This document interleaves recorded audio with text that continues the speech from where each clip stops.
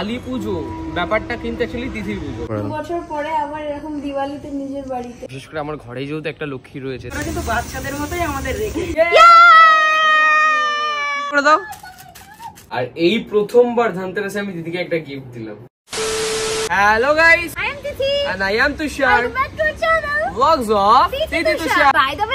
Happy Diwali আজকে দিওয়ালি যেহেতু কালকে তার মানে কি ছিল? ধনতেরাস। আর ধনতেরাসে তুমি যে গিফটটা পেয়েছ ওদেরকে কি দেখিয়েছো? না ব্লগটা এখন স্টার্ট হলো। তোমরা এগিয়ে আগে সেটা দেখে এগুলো ধনতেরাস বাট আজকের যে ক্লিপটা আমি নিচ্ছি সেটা আই থিঙ্ক তোমরা দিওয়ালির ব্লগের মধ্যে দেখতে পারবে। কারণ তার আগে আমরা তো কোনো ব্লগ আপলোড করব না সেভাবে ধনতেরাসে। আজকের দিনটা যেহেতু স্পেশাল অবভিয়াস লক্ষ্মী গণেশের দিন। বিশেষ করে আমার ঘরে যেহেতু একটা লক্ষ্মী রয়েছে তার জন্য তো একটা কোনো গিফট নিতেই হয় আমাকে তাই না? তাড়াতাড়ি করে গিফটটা নেব অ্যান্ড একটা জিনিসের যেটা বেশি সারপ্রাইজিং তোমরা ধনতেরাসের ভিডিও দেখতে এসছো বাট আনফরচুনেটলি ধনতেরাসের ভিডিও কারও একটা হাত দিয়ে ডিলিট হয়ে গেছে। আর আজকে হচ্ছে কালী পুজো ধনতেরাসের কখন গিফট দেখাবো বলেছি তখন দেখিয়েই দিই মানে কালকে আপলোড করব তাই ভাবলাম এখনই ক্লিপটা নিয়ে নি। এত খারাপ লাগছে কি সুন্দর করে আমাকে সারপ্রাইজ দিয়েছিল। প্রথমত দেখাই আমি যেটাতে সব থেকে সব থেকে বেশি খুশি হয়েছিলাম এই জিনিসটা। ও না বেছে বেছে এরকমই একটা লক্ষ্মী মা আছে যার নাকটা একটু একটু বোচা মতো আছে। আমার নাকটা আসলে বোচা তো তাই ওর নাক বোচা? বোঝা আমার না- তারপর স্যার আমার জন্য এই জিনিসটা আনে। আমি এটা পেয়ে যত না খুশি হয়েছি এর থেকে বেশি খুশি হয়েছি এইটা পেয়ে। তোমরা কিন্তু অনেকেই এটাও কমেন্ট করতে পারো। দাদা ধনতেরাস তো অ্যাকচুয়ালি লক্ষ্মী আর গণেশ। শুধু লক্ষ্মী কেন আনলে? যেহেতু আমাদের বাড়িতে অলরেডি ছোট্ট গনু রয়েছে তাই জন্য আমরা লক্ষ্মী মা এনেছি। আমি একদম এক্সপেক্ট করিনি যে ও ধনতেরাসে আমাকে এরকম একটা গিফট দেবে। আর এই প্রথমবার ধনতেরাসে আমি দিদিকে একটা গিফট দিলাম। খুশি? হ্যাঁ পরিয়ে দাও। আগের ভিডিওতে খুব সুন্দরভাবে সারপ্রাইজ ছিলাম পড়িয়ে দিয়েছিলাম। কেমন লাগছে? খুব ভালো লাগছে আমার খুব পছন্দ হয়েছে। ধনতেরাসের ধামাকাটা তোমরা দেখে ফেললে। ফার্স্ট অফ অল গাইস প্রতি বছর কালী পুজোর পরে দিওয়ালি হয় বাট কিছু কিছু বছর এরকম হয় যে কালী পুজোর আগের দিন দিওয়ালি হয় সেরকমই এই বছর আমাদের কালী পুজোর আগে দিওয়ালি পড়েছে। আর তোমরা কি জানো এই কালী পুজো ব্যাপারটা কিন্তু অ্যাকচুয়ালি তিথির পুজো? ব্যাপারটা ব্যাপারটা ওই রকম ভাবে মিন করে বলিনি। তিথির অ্যাকচুয়ালি ভালো নাম হচ্ছে দীপান্বিতা। দীপান্বিতা মানেটা কালী পুজোর দিনের রাতে যে প্রদীপটা জ্বালানো হয় তাকেই বলা হয় দীপান্বিতা। আর তোমরা হয়তো অনেকেই শুনেছো দীপান্বিতা দীপান্বিতা কালী কালী পুজো। পুজো। আমার সাথে এমনিতেও একটা কালিমার টার্মস আছে যার জন্য ওই কথাটা বলল। তোমরা প্লিজ কেউ মাইন্ড করবে না না না আমি ওই ওই হিসাবে তো সেইভাবে বলিও না না। মাইন্ড কেন করব? তো সব দিক থেকেই কিন্তু তিথিরই দিন ঠিক আছে? তো আজকে আমাদের প্ল্যানিংটা আমি বলে দিই। প্রথমে আমরা এখন বেরোচ্ছি হাওড়া বাড়ির উদ্দেশ্যে। যেহেতু কালী পুজোয় বাবা মারা এখানে আসতে পারছে না কারণ এই কদিন অনেকদিন থেকে গেছে ওদের বাড়িতে, একবার থাকেনি যে কালী পুজোটা ওখানেই কাটাবে। আমরা আজকে যাচ্ছি বিশেষ করে যেহেতু দীপাবলি বা দিওয়ালি, গুরুজনদের আশীর্বাদটা প্রয়োজন, তাই জন্য আমরা আজকে যাব, তাদের সাথে কিছুটা সময় কাটাবো, একটু মিষ্টি মুখ করব দেন আবার বাড়ি ফিরবো।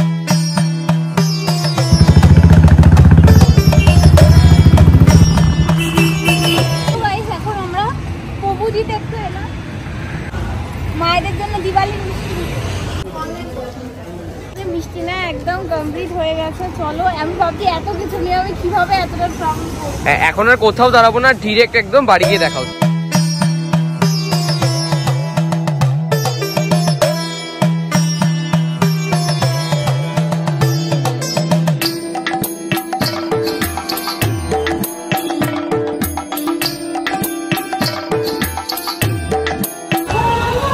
খুশি?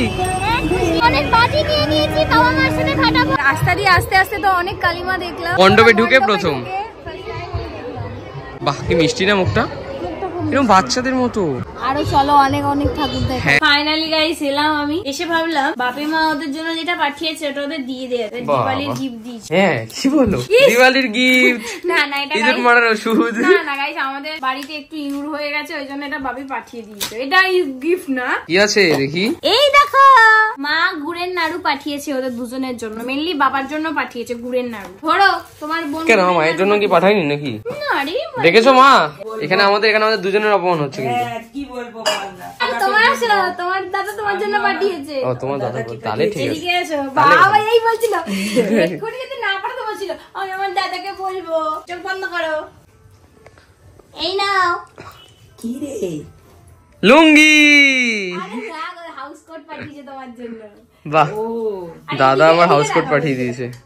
শীতকাল পড়ে যাচ্ছে আর মায়ের এখন মোটা হাউস কোট টাইপের নাইটি নেই ওই জন্য বাপি আর বাপি এটা মেনলি পাঠিয়েছে তোমার জন্য। খুব ভালো হয়েছে। যে যার ভাই বোনের জন্য সেটাই পাঠিয়ে দিয়েছে বিকজ যেহেতু ভাইফোঁটা আমার খুব পছন্দ হয়েছে আমি পরে ফোন করে বলব। ঠিক আছে। এখন আপাতত আমরা চাটা খাই কারণ প্রচণ্ড মাথা যন্ত্রণা করছে আমার হেলমেট পরে পরে আশেপাশে বাট গাইস তারপরে কিন্তু একটা সুন্দর জিনিস আছে। ফার্স্টেই ও ভিডিওতে যেরকম তোমাদেরকে বলল যে এবছর বাবা মা কালী পুজো ওখানে যাবে না বিকজ প্রত্যেকটা পুজো ওরা আমাদের ওখানেই থাকে। বাট কি বলতো? কিছু পুজো যদি এখানে না কাটায় এরকম ঘটে না ভূতবাড়ি ভূতবাড়ি ভূতবাড়ি হয়ে মনে হয়ে যাবে। তো যার জন্য ওরা বলল ওরা দুজন এবছর এখানে কালী পুজো কাটাবে। তো আমরা ভাবলাম যে একটু ওদেরকে তো মিস করব তাই দিওয়ালিটা ওদের সাথে কাটিয়ে যাই আর কালী পুজোটা বাপি মার সাথে ওই বাড়িতে কাটাবো। চলো তার জন্য এখন একটু চাটা খেয়ে নি দেন আমার এই হাওড়া বাড়িটাকে তো আলোকিত করতে হবে. চা এসে গেছে চা এসে গেছে। খাও তোমার চা খাও। অলরেডি আমি অ্যাকসেপ্ট নিয়ে নিয়েছি বাট ভিডিওর জন্য আবার আমাকে উঠে নিতে হলো। ঠান্ডার মধ্যে ঘুরে এসে সেটা দুর্দান্ত লাগছে। খাও খাও। নিজেই খাচ্ছ তোমার বাড়ি হোক আর আমার বাড়ি নিজেই তো খাচ্ছ। কি আবার হবে? ছেলে আমার বাড়ি বলেছে বলে রাগ করছিস কেন? তোর মা তো তোকে সবসময় আমার মেয়ে আমি মেয়ে বলতেই পারি না বলবে ছেলে তোমার। আমি ওটাই অভ্যাস করে নিয়েছি যে আমার ছেলের বাড়ি আমার ছেলে এতে আবার রাগ করার কি আছে? তোমাকে কি বলেছি এত ভাষণ দিতে? না বৌমাকে দে দে বৌমাকে চা দে। আসবে না এখানে কিছু না।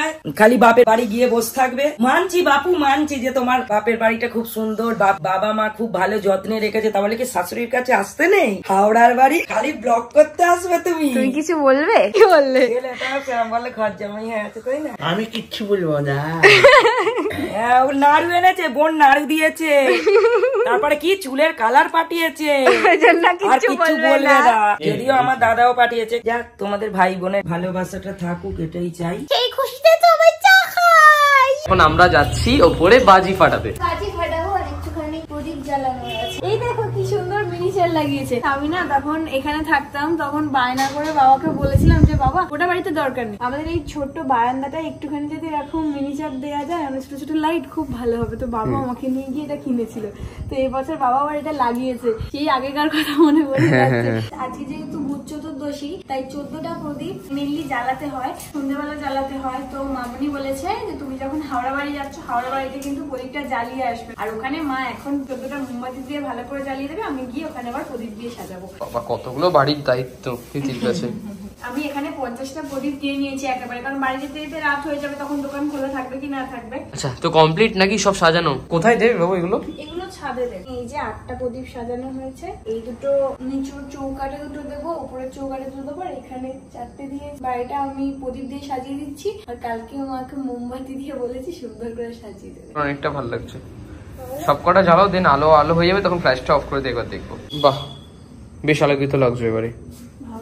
হুম এই জায়গাটা বারান্দাটা আমাদের কাজ কমপ্লিট হয়ে গেল।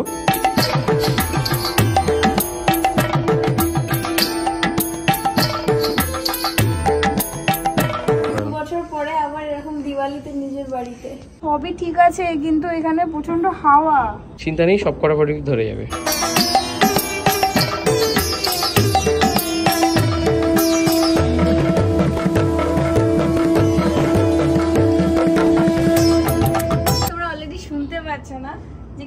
বাজি ফুটছে। তো কালী পুজোর এই ফিলটা এই বাজি ফাটানোতেই আসে তাই না বাবাই? এইবারে কেউ যেন বাজি ফোটাচ্ছে না সেই তাও তো আমার আমার হাওড়া বাড়ি এসে তাও আমি শুনতে পাচ্ছি। ওইখানে তো একদমই শুনতে পাচ্ছিলাম না বলো। ওইখানে বোধহয় আমি একমাত্র ফাটি বাজি ফাটাই। হ্যাপি দিওয়ালি হ্যাপি দিওয়ালি আজকে আমাদের ক্যামেরাম্যান মা লাইটম্যান বাবা।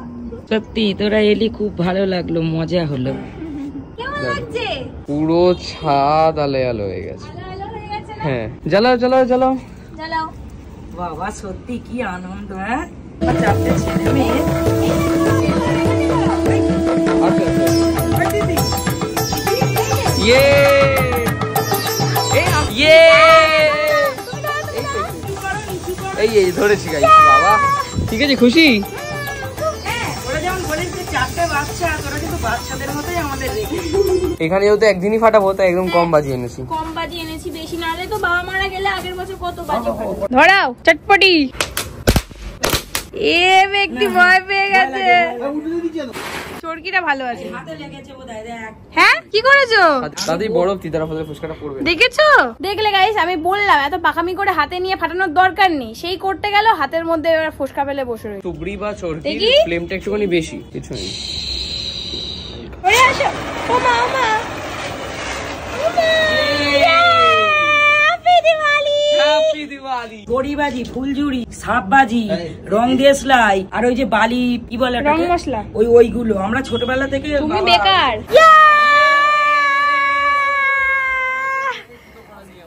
হ্যাঁ, পায়ে লাগবে আবার। হাতে লাগিয়েছে আবার পায়েও লাগবে। এবার একটা তুবড়ি এবার একটা তুবড়ি বাবা। পিঙ্ক কালার শিয়ালগুলো বলছে হ্যাপি দিওয়ালি। তোমরা শুনতে পাচ্ছ? দেখো। আমরা কুকুরের ডাক শুনি তিসরে আবার শেয়ালের ডাক শুনে বাহ।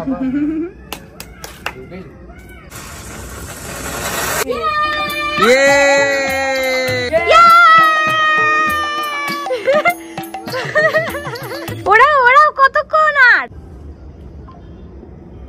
হ্যাপি দিওয়ালি বাবা সরো সরো সরো ও ও ও ও আস্তে আস্তে আস্তে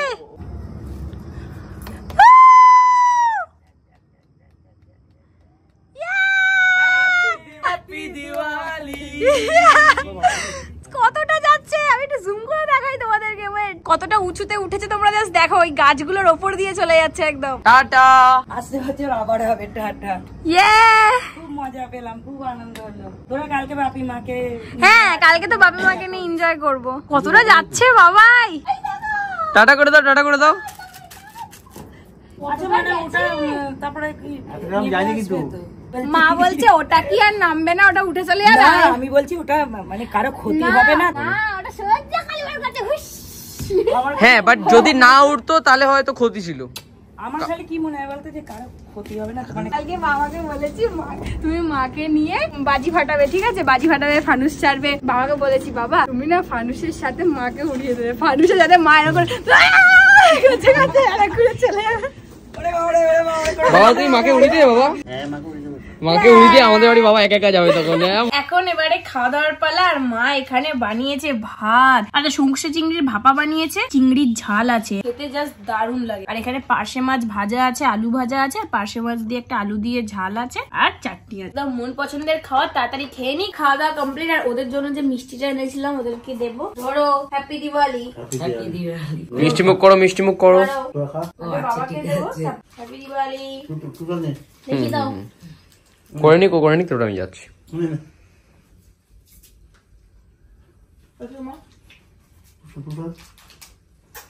আমি যাচ্ছি ধরো। ও